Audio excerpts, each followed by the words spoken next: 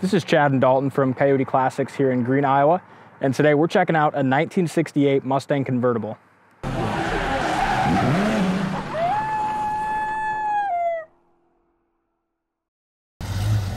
This is a great car too. Beautiful colors, great year for the Mustang.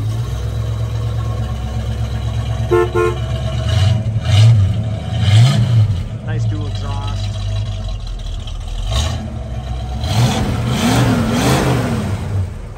Here's a little peek at that interior too. Got the full console, beautiful wood grain. I really like how the, the colors on this car come together, just make it a classy ride. Yeah, check this out, doll. It's got factory tilt wheel. I mean, that's pretty damn rare in 1968. Makes Another nice. thing to point out on a tilt wheel, most of the time they're like super sloppy because they're old. This one's not bad at all. No, nice nice, and and tight. Pretty car. Yeah, one other thing I'll get to a little bit real quick. Um, that dual exhaust system is brand new. We ordered one from Summit. Uh, Brant put it on, did a fantastic job. So we just did the dual exhaust. Sounds nice.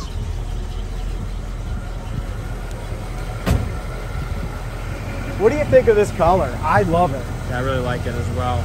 Nice, like, what, what do you call this? It's a burgundy Yeah. of sorts. Um, in 19, trying to think what they called it in uh, 66, 67. I'm impressed by the engine compartment on this thing. Hey, how about air? And a convertible makes awfully nice too. Power steering, air, power brakes, tilt wheel, very highly optioned car. It's got the deluxe hood on it as well with the turn signals up there. Um, the same guy that uh, restored the 1971 convertible that we just did, did this one too. They were both done in the last two years. Uh, we bought both cars from him in a package deal and uh, just a great running driving car. A little uh, 289. This is a two barrel as well. 289 two barrel, left them both kind of stock. Engine compartment looks good. Um, no rust holes or, or bubbles or nothing like that up here. No, nothing stupid like that. We did go ahead and um, get some photos of the undercarriage, and this little convertible super solid. Nice frame rails, floor pans, trunk extensions. It's a good, solid car. Vintage Burgundy is what I was calling, but that's 66. So I'm not sure exactly what they're calling this at 68. We'll have to, uh, I'm sure Shay decoded it. Yeah, and be on the website. You know, when he restored these cars, as I mentioned in the other one, he took them to really nice cruise night, local car show quality cars. They're not rotisserie restorations, ones that you're going to be scared of to drive. I mean, these are gorgeous and they're ready to go. You know, something you can drive and enjoy and uh, not worry about parking it somewhere. But he did a great job on the gaps. Um, backside of the hood is, is nice on both sides, lays down there to the fender um, really nicely. Same thing here with the cowl matches up nice to the top of the door, top of the fender.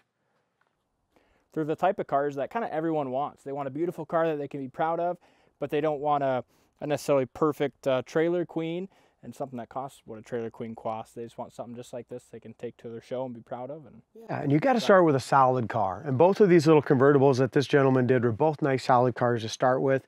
And uh, to me, that's what's most important. Gaps are really good here. Uh, front bumper's nice. It's got the horse and corral looks good. Looks like they did all new trim around the uh, the grill. Uh, grill's new. Valance is good. And these 68s, uh, whether they're a fastback, convertible, or a coupe, I mean, 67 and 8s are really my favorite Mustangs. Obviously, the fastbacks are, are, are my favorite, but then the convertibles look really great too.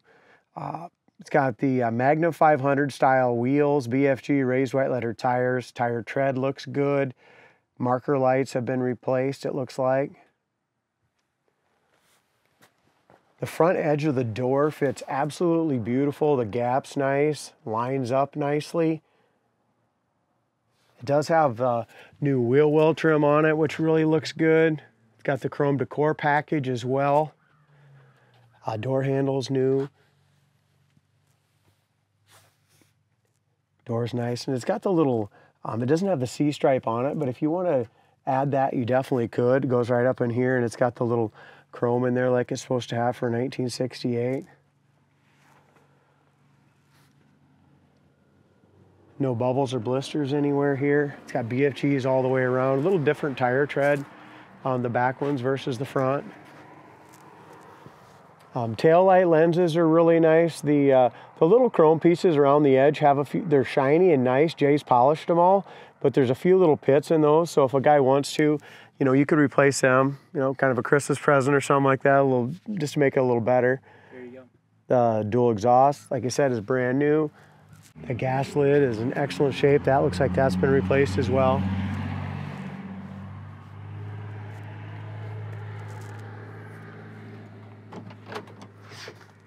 As we open up the door jambs, it looks to me like original paint in the door jamb still. If it's not original, it was definitely older.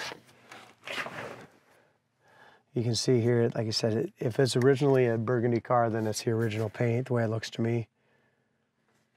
Um, interior also looks original. Uh, just has just enough wear you see here in the wood grain um, to uh, show it being original. It's got the, I'm guessing it's the deluxe interior with the grab handles and the wood grain, huh? Yep. So a nice highly optioned car. It's got the factory console, AM FM radio, gauges. It's even the deluxe as far as the uh, wood grain and the steering wheel, door panels, dash, and that all looks excellent. Uh, 78,335 miles. Judging by the condition of this original interior and the floor pans and stuff, I'm pretty sure this is an original 78,000 mile car. What do you think? Very well could be. Even the carpet, I mean, that's not new carpet by any means. You can just see that, you see how the loops are just a little bigger and just a little fuzzy back there? Um, Jay spent a ton of time cleaning this original interior up and it really looks nice. It hasn't, doesn't have that bad sun fade like a lot of them would. You can tell it's been kept inside a lot.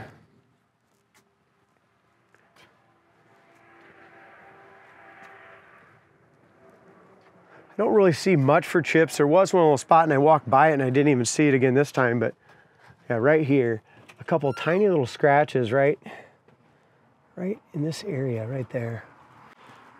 And there's a little, a little ding here in the trunk lid, very small. Nice black top, power top as well, which is nice. You got the right switch on it yet, D? Um, Yeah, factory power top, and look at that. It's got a little top that you pull out on that one.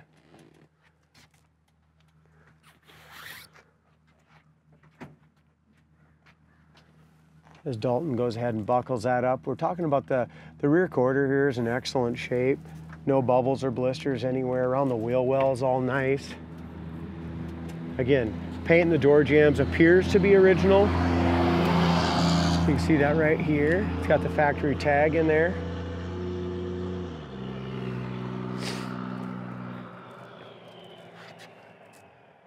Panel is nice. Again, the deluxe down here as far as the interior goes. I'm going in and out of the seats in excellent shape.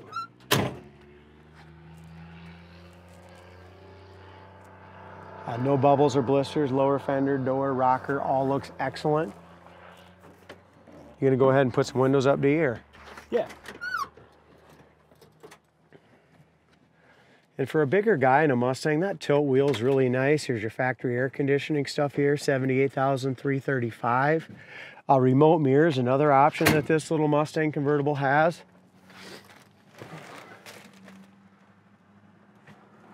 Go ahead and go through the gauges, stuff like that.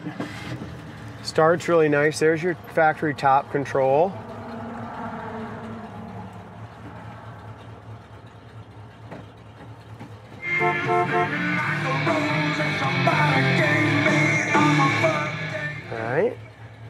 Um, AM FM radio with auxiliary works. Uh, it's got the factory speaker in there. Oil pressure is really good. Um, that gauge works. Gas gauge, alternator gauge works.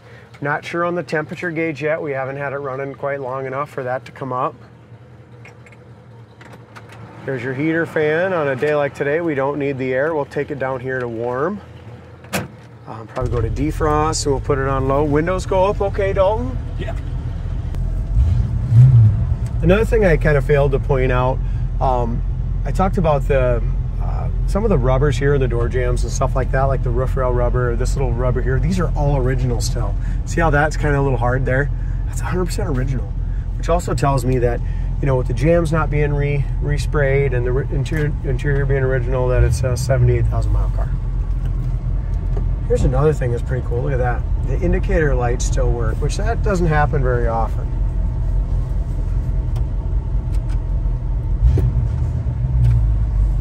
It's got the little speakers down here too. I didn't talk about that. It's had aftermarket kick panels with the speakers.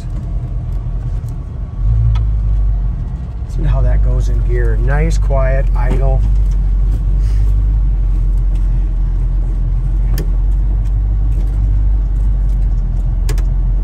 Turn signal works on the right side of the hood. Left side, I'm guessing it's just a bulb, but not working.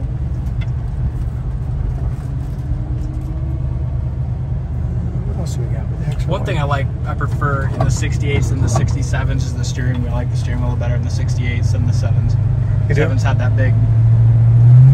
Yeah, and this with the deluxe is really nice as well. Really nice shift on this one. Again, uh, small block, two barrel, just like the one in the 71, and that one impressed us, didn't it? Yeah.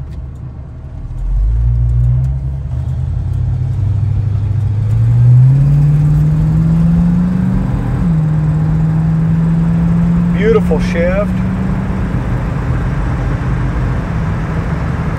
Speedometer works well. We're doing about, uh, it says we're doing about, well, about 50, 55. It might be a little off, Dalton. It might be reading about 5 or 10 slow. Feels to me like we're doing about 60 and it's reading 50. Passing gear works nice. Yeah, it goes down the road nice, and for a convertible, it seals up pretty well too. It really does. Yeah, see this front seal here is really quiet. Yeah. The 71 had a little leak there, and that you can see that seal there was all that needed. Um, here's where the air is coming in just a little bit, and this is where these have shrunk a little. See that? Yeah. But pretty quiet for a convertible. But you can just see there's just a little gap there from that hardened rubber. You can't expect a, a classic convertible to, to seal up perfect and be watertight, you know.